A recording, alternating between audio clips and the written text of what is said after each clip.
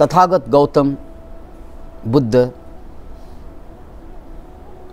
मगध राज्य को भित्री गाउँ जङ्गलै जङ्गलको बिचमा रहेका गाउँ त्यहाँ भिक्षा माग्दै पुगेका थिए। अनि यसै क्रममा मगधमा आगो लागि भयो। मगधको त्यो जङ्गलमा। दावाग्नि जसलाई हामी डढेलो भन्छौँ। अनि सुरुमा त के लागेको थियो भने सानोतिनो आगो होला। यो निभिहाल्छ। कहाँ निभ्नु? त्यो त बढ्दै गयो बढ्दै गयो। भगवान् बुद्धलाई त्यो सारा आगो बलिरहँदाखेरि पनि केही पनि फरक भइरहेको थिएन। डढेलो। अब त्यहाँ भगवान् बुद्धसँग मुक्तात्माहरू पनि थिए जसलाई अर्हत भनिन्छ। उनीहरूलाई पनि केही पनि फरक परिरहेको थिएन। तर त्यहाँ पृथकजन यो बुद्धकालीन शब्दावली पृथकजन भनेको जो अहिले मुक्त भएको छैन। जो अहिले सामान्य छ। त्यस्ता भिक्षु तिनीहरूको पनि जमातै थिए।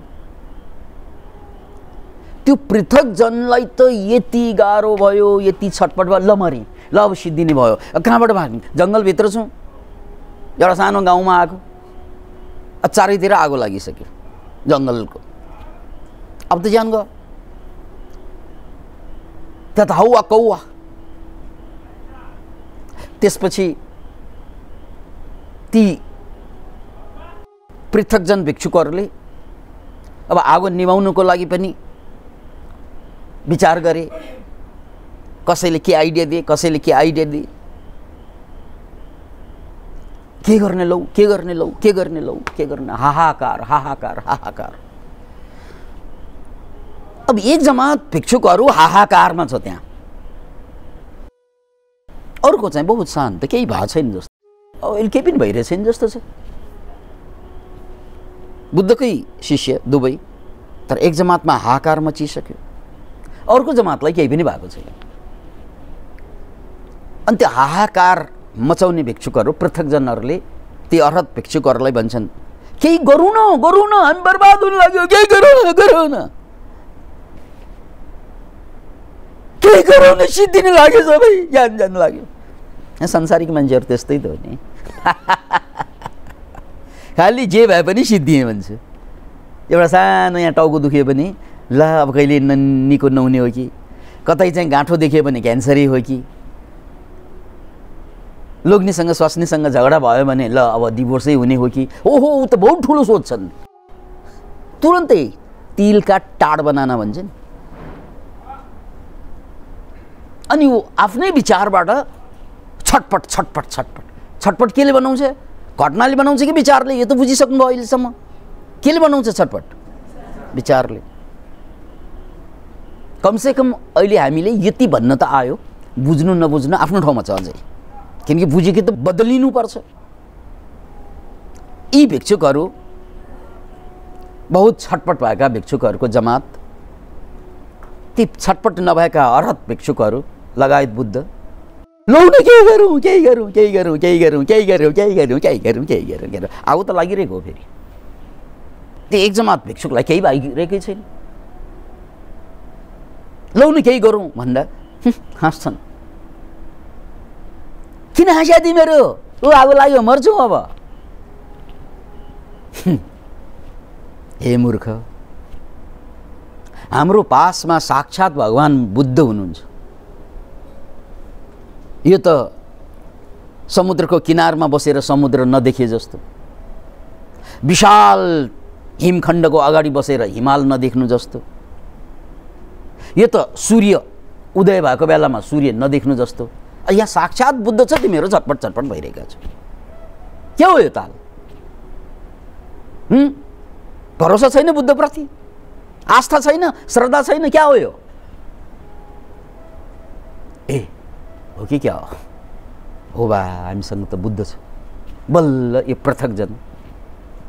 हामीले त चिन्तै लिनु पर्थ्यो। चिन्ता त यिनले लिने हो। अनि त्यसपछि बिस्तारै सबैको बुद्धि फेर्नु थाल्यो। जहाँ सम्यक सम्बुद्ध हुनुहुन्छ मलाई के को डर? डराउनु पर्ने हो भने बुद्धै डराउनु पर्ने हो उनी डरा छैनन्। उनी डरा छैनन् भने हामी किन डराउने? जो संसारको लागि सबभन्दा बढी काम लाग्छ त्यो मान्छे डरा छैन। हामी न तातो न भुत्लो तर हामी डराएर बस्ने। जो मान्छे मऱ्यो भने संसारको लागि धेरै फरक पर्छ। त्यो मान्छे डराएको छैन। हामी जो मऱ्यो भने परिवार खुसी हुन्छ। किनकि जहिले पनि कचकच गर्ने जहिले पनि दुःख दिने एउटा कति शत्रुहरू हाँस्छन्। धेरैलाई चित्त दुखाएका छौँ जिन्दगीमा। हामी मऱ्यो भने उनीहरूले लड्डु खान्छन्।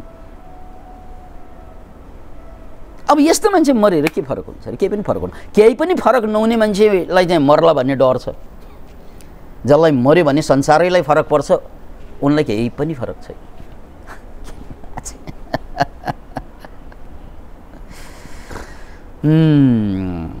त्यसपछि सम्हाली हो त नि। हाम्रो पासमा सम्यक सम्बुद्ध हुनुहुन्छ।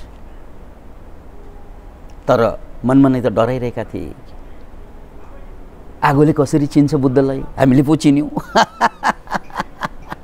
यता आगो छ उता आगो छ उता जङ्गल डढेरो लागेको छ। दावा अग्नि महादागो अग्नि। अनि डराइ डराइ हेरौँ न। वेट एन्ड सी भनिन्छ नि हेरौँ न। ती जमात भिक्षुक हेरौँ न भन्दै थिए। तै पनि डराइरहेकै थिए तर छटपट हुन छोडे हेर्दा हेर्दै त आगो दुई चार कोष परै नै समाप्त भयो। जब बुद्ध जहाँ हुनुहुन्थ्यो भिक्षुक जहाँ थिए त्यहाँ आगो त्यहाँ पुग्नै सकेन। यता दायाँ बायाँ सबै जताको ततै टक्क। त्यहीँ सक्यो। आगो त्यहाँभन्दा माथि सल्किएन। त्यसपछि सारा प्रेक्षकहरू खास गरी चाहिँ त्यो पृथकजनहरू जो डराएका थिए भगवान् बुद्ध कि जय भगवान् बुद्ध कि जय। अनि प्रभु यो के चमत्कार कसरी भएको? हामीले त हजुरलाई भगवान् भनेर चिन्छौँ। हामीले त हजुरलाई मुक्त पुरुष भनेर चिन्छौँ। तर आगोले कसरी चिन्या? यो चमत्कार कसरी भएको? कथा सुन्नुहोस्। यो आजको कुरा यही यही जन्मको मात्रै कुरा होइन। योभन्दा अगाडि पनि यस्तो कुरा मैले धेरै जन्ममा झेलिसकेँ एउटा जन्मको कुरा भन्छु। प्रसङ्ग फेरि मगध राज्यकै जङ्गलकै त्यो बेला अब कहानी सुन्नुहोस् अब अब अर्कै पाटो कहानी पूर्वजन्मको कहानी। म चरो थिएँ। बचेरो थिएँ। भर्खर जन्मेको। भर्खर हुर्कँदै थिएँ। मेरो प्वाख पलाएको थिएन। खुट्टा दह्रो थिएन। त्यही बेर जङ्गलमा आगो लाग्यो। प्वाख पलाएको थिएन। उड्नलाई। अनि खुट्टा दह्रो थिएन। र त्यही बेला आगो लागि भयो। त्यसपछि जङ्गलका सारा पशुहरू तित्तर बित्तर भए। सारा पन्छीहरू तित्तर बित्तर भए। अब मलाई जन्माउने मेरा आमा मेरा बाबा एकछिन त उनीहरू मेरो सुरक्षाको लागि बसिरहे। तर आगो सल्किँदै गएपछि उनीहरू पनि भागे। आगो नजिक आउँदै गएपछि उनीहरू पनि भागे। त्यसपछि मलाई डर लाग्यो। अब म पनि मर्छु कि? म पनि मर्छु कि? गर्न मैले के सक्छु? सक्ने उड्ने हो पन्छी। पखेटा पला छैन। कुद्ने हो खुट्टाले टेकेर। खुट्टा दरा छैनन्। याद राख्नुहोस् यो कुरा। सिचुएसन हामी जम्मै मान्छेको त्यस्तै हुन्छ। भाग्नको लागि चाहिँ पखेटा पनि छैन खुट्टा पनि छैन। आगो सल्किसकेको छ। हरेक मान्छेले जीवनमा त्यही भोग्ने होइन र। अब छोराछोरी खत्तम भइदियो भने न उनीहरूलाई छोड्न सकिन्छ। न उनीहरूलाई सुधार्न सकिन्छ। हेर्नुहोस् त आमा बाबाको हालत। त्यस्तै लोग्ने खत्तम हुन्छ कसैको स्वास्नी खत्तम हुन्छ कसैको नो छोड्न सक्ने नो बस्न सक्ने। एकजनाले अस्ति डायलग दिँदै थियो। यो मोरालाई छोडौँ भने घाँस रोकिन्छ। बसौँ भने योसँग सासै रोकिन्छ। गरौँ के? त्यस्तो हालत छ मान्छेको। छोडौँ घाँस रोकिने बसौँ सास रोकिने। के गर्ने सर? कथा सुन्ने। यो हालत अधिकांश मान्छेको छ अधिकांश। हो सबैको स्वास्नी नहोला सबै छोरा छोरीको कुरा नहोला कसैको दाईसँगको प्रब्लम कसैको भाइसँगको प्रब्लम कसैको छिमेकीसँगको धरी प्रब्लम छ। घर बेचेर जान नसक्ने त्यहाँ बस बसिरहन बहुत आगोको बिचमा गर्मी महिनामा बसे जस्तो हुने कतिलाई। गर्न केही नै सक्दैन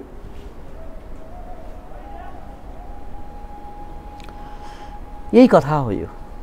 प्रकारान्तरमा। प्रकारान्तरमा हामी सबैको कथा व्यथा हो केही गर्न नसक्ने ल उड्नुपर्ने हो पखेटा छैन कुद्नुपर्ने हो खुट्टा छैन। फेरि आगो सल्किसक्यो त्यही एकछिनमा मरिन्छ एकछिनमा सिद्धिन्छ एकछिनमा मलाई क्यान्सर लाग्न सक्छ एकछिनमा मलाई चाहिँ डिप्रेसन हुनसक्छ एकछिनमा मलाई एङ्जाइटी हुनसक्छ एकछिनमा म आत्महत्या गर्न सक्छु के थाहा? पीडा यस्तो बढिसकेको छ यो हालतमा बस्नै सक्दैन एकछिनमा म रक्षा बन्न सक्छु जड्या बन्न सक्छु स्म्याक लिन सक्छु। के थाहा? किनकि पीडा यति बढेको छ खप्नै सकिरहेछ। खप्नै सकिरहेछ छैन गर्नु पनि केही सकिरहेछ। यही हालत हो। यो हरेक मान्छेले भोग्ने हालत यो। पखेटा छ तर उड्न सक्दैन। किनकि पखेटा बहुत सानो छ। खुट्टा छ हिँड्न सक्दैन किनकि खुट्टा अहिले डह्रो छैन। यो चराको पनि त्यही हालत यो बचेराको। अब गर्ने के? कथा सुन्ने होइन कथामा ध्यान होइन आफूलाई सुन्नुहोस्। त्यस्तो अवस्थामा के गर्ने? केही नगर्ने दिमाग चलाउने। हामी दिमागै नचलाउने मान्छेहरू। हामी त खालि बानीमा बाँच्नेहरू हामीलाई दिमागै चाहिँदैन। You should ask a question to yourself what can I do गर्न के सकिन्छ? आतिएर भएन मातिएर भएन। भाग्ने ठाउँ छैन। भाग्न मिल्ने अवस्था छैन। तर एउटा गर्न सकिन्छ के? यो गोबर जस्तो दिमागलाई चलाउनुहोस् गनाइसकेको छ जिन्दगी। सोचे पो दिमाग। सोचेन भने गोबर। प्रश्न गरे पो दिमाग। गरेन भने गोबर। अनि कसको कसको यो खोपडीमा चाहिँ गोबर छ कि दिमाग छ भनेर बुझ्नलाई केही गर्नु पर्दैन। प्रश्न गर्ने अझै यसमा ताकत छ भने यो दिमाग हो। प्रश्न गर्ने ताकत सकिसकेको छ भने गोबर हो। तर यस्तो गोबर गाईको होइन भैँसीको गोबर परेछ लिप्न पनि नमिल्ने खालको। कामै नलाग्ने गोबर। यसरी बुझ्नु। त्यो बचेराले अब हेर्नुहोस् उसको त दिमागमा गोबर होइन। किनकि ऊ बोधिसक्तो यो बोधिसत्वको एउटा जन्म हो त्यो। उसले त सोध्छ किनकि ऊ बोधिसक्तो जन्म जन्म साधना गरेर आएको। जन्म जन्म गुरुसँगको सत्सङ्ग गरेर आएको। त्यसकारण उसले त सोध्छ। अब उसले सोध्छ गर्न के सकिन्छ? चारैतिर आगो सल्केको छ। आफू भाग्न सकेको छैन। भाग्ने स्थिति पनि छैन। अनि सोध्छ कि मैले यो बेला के गर्न सक्छु? मैले यो बेला के गर्न सक्छु? मसँग हतियार के छ? म त बोधिसत्व। धेरै जन्मदेखि साधना गर्दै आएको। धेरै जन्मदेखि दश पारमिता पालना गर्दै आएको। के गर्दै आएको? दश पारमिता पालना गर्दै आएको। यो जन्ममा पनि दश पारमिता पालना गर्दैछौँ त्यसकारण मसँग के छ त भन्नाले मसँग दश बल छ। दश पारमिताको बल।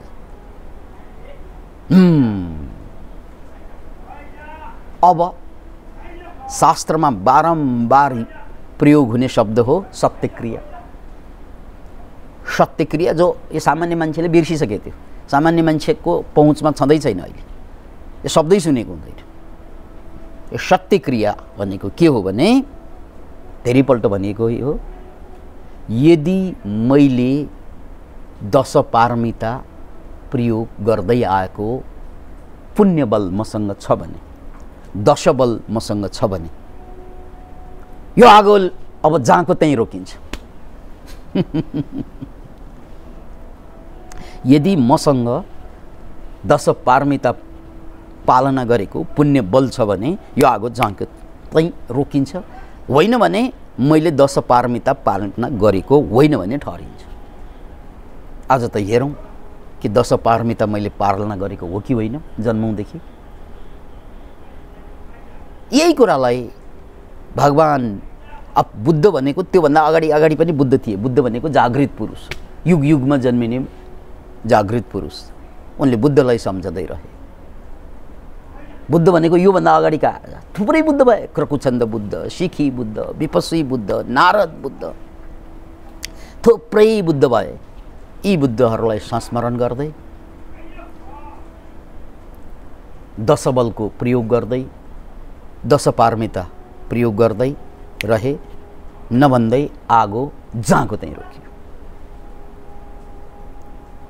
भगवान् बुद्धले मुसुक्क हाँसेर अब बुद्धले मुसुक्क हाँसेर आफ्ना शिष्य यी पृथकजनहरूलाई यो मुक्त नभएका भिक्षुकहरूलाई भन्दै थिए। यस्तो आगो रोक्ने काम त कति जन्म गरियो गरियो एउटा अगाडिको जन्म पनि यसरी नै रोके थिएँ। केबाट रोके थिएँ? दश बलबाट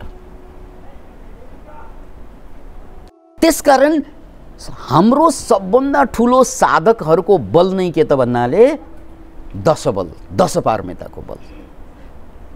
अब धेरै पारमिताका कुरा बुझिएन भने एउटा पारमिता समाते पुग्छ यसलाई सत्य पारमिता। आजको मितिबाट म मरे नि झुटो बोल्दिनँ। सत्य Paramita number one and this will be the atom bomb भयो क्यान आजको मितिबाट जहाँ सत्य बोल्नै पर्ने हुन्छ र मेरो मैले सत्य बोलेर अरूलाई घाटा पर्छ भने म चुप बस्छु त्यहाँ। तर बोल्दिनँ झुटो। तर यहाँ एउटा टाउका छैनन् जसले झुटो नबोलेका होस्। जिन्दगीभर झुटमा जन्मियो झुटमा हुर्कियो झुटैमा मर्छौँ हामीहरू। अनि बल कहाँबाट आउँछ? मनोबल जसलाई भन्छौँ नि हामीले सामान्यतया सामान्य भाषामा मनोबल गिर्नु भन्छ नि।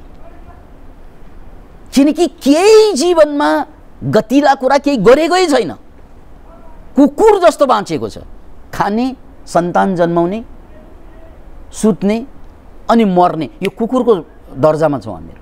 यो बिरालोको दर्जामा छौँ हामीहरू। केही त्यस्तो पुरुषार्थ केही गरेकै छैन। पुरुषार्थ केही छैन। त्यसकारण केही पऱ्यो कि हामी खङ्रङ खुङ्रुङ्गै जान्छौँ। खङ्रङ्गै किनकि मनोबल कतै पनि जोगाएका छैनौँ हामीले। धनबल बढाइयो पापै गरेर पनि। पद हट्याइयो पापै गरेर भए पनि। ठगेर भए पनि अलिकति कमाइयो तर मनोबल खोइ। पर्यो कि मनोबल गिर्छ। यही मनोबल गिरेको कारणले डिप्रेसन हुने मनोबल ठिक छ भने को डिप्रेसनमा जान्छ? कसलाई एन्जाइटी हुन्छ? मन मनोबलै छैन। मन के जिते जित मन के हारे हार। याद राख्नु जित र हार भनेको युद्धमा निर्धारित हुँदैन। मनमा निर्धारित हुन्छ। मन के जिते जित मन के हारे हार। तपाईँको मनोबल बाँकी रहेसम्म जिन्दगी मनोबल गयो भने चाहिँ त छोराको कारणले पनि आत्महत्या गरिदिन्छ बाउको कारणले पनि गरिदिन्छ दाईको कारणले पनि आत्महत्या गर्छ प्रब्लम आए पनि आत्महत्या गरिदिन्छ। छोराको कारणले पनि रक्सी पिइदिन्छ स्वास्नीको कारणले लोग्नीको कारणले। कसैको कारण यो यो यो यो बहाना के भन्छ मलाई थाहा छैन। बहाना हजारौँ बन्न सक्छ तर बर्बाद आफै हुन्छ। किनकि परिस्थिति बिग्रियो कि सम्हाल्नको लागि चाहिने मनोबल त्यही छैन। परिस्थिति ठिक हुँदासम्म केही हुँदैन फेरि। परिस्थिति ठिक हुँदासम्म त हामी चाहिँ लाली लिपस्टिक लाएर चाहिँ हिँडिरहेका छौँ गरगहना लाएर हिँडिरहेका छौँ कोट पाइन्ट सुटेड बुटेड भएर हिँडिरहेका छौँ मानु केही भएको छैन। तर परिस्थिति अलिकति ट्विस्ट एन्ड टर्न लियो भने यो मान्छे भोलि डिप्रेसन यो मान्छे भोलि आत्महत्या यो मान्छे भोलि रक्सी खानामा किन? किन? किन भन्नाले मनोबल कहिले पनि बढेन।